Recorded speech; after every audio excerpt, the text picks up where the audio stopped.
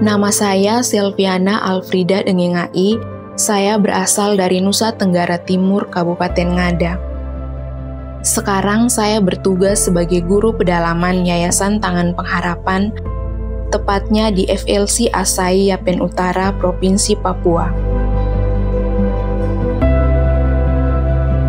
Walaupun baru empat bulan saya bertugas di tempat ini, saya sudah cukup melihat memahami, merasakan kehidupan di pedalaman yang serba kekurangan, seperti tempat tinggal dan makanan seadanya karena faktor ekonomi dan pendidikan orang tua yang rendah.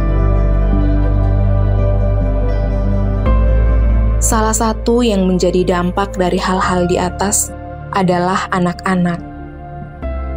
Sehingga tidak heran bahwa tidak sedikit anak-anak pedalaman mengenyam pendidikan sekolah dasar tidak sesuai dengan usia mereka. Seperti misalnya, anak sudah berusia 16 tahun masih duduk di bangku kelas 4 SD. Dan betapa mereka begitu membutuhkan kehadiran guru untuk menolong anak-anak di pedalaman.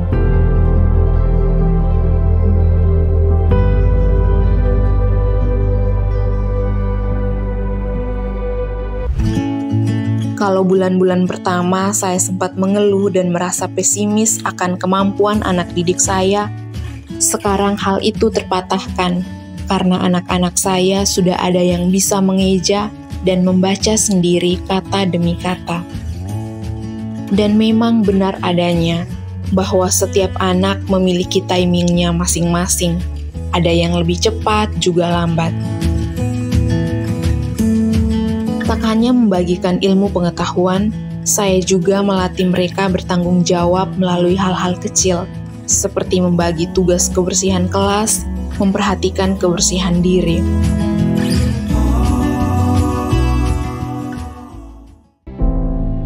Namanya juga hidup, akan selalu ada tantangan yang harus dilewati untuk membuat hidup semakin berwarna. Di awal bulan April lalu, ketika pulang dari kota, cuaca buruk menyapa kami di seperempat perjalanan kami. Di situlah saya merasakan betapa dahsyatnya Laut Yapen Utara ini.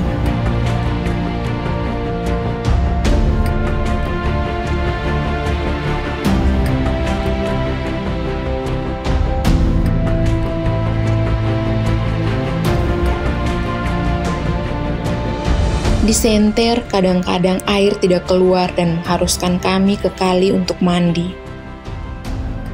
Hidup di pedalaman, di mana saya jauh dari keluarga, tidak membuat saya kekurangan cinta dan perhatian. Di sini, saya memiliki partner yang bisa berbagi suka duka, teman-teman guru sewilayah, ada masyarakat yang begitu ramah dan peduli terhadap kami para guru. Tak bisa dipungkiri bahwa ada kenyamanan dan ketenangan hidup yang saya rasakan di pedalaman ini, jauh dari hiruk pikuk kota dan bising kendaraan.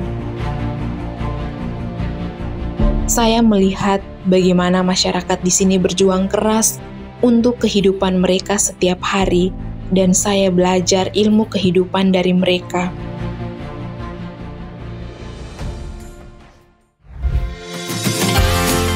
Kasih kepada para donatur yang telah setia mendukung program sponsorship guru pedalaman yang ada di FLC Asai, Yapen Utara, Papua.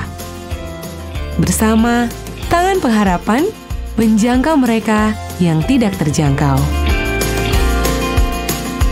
Helping people live a better life.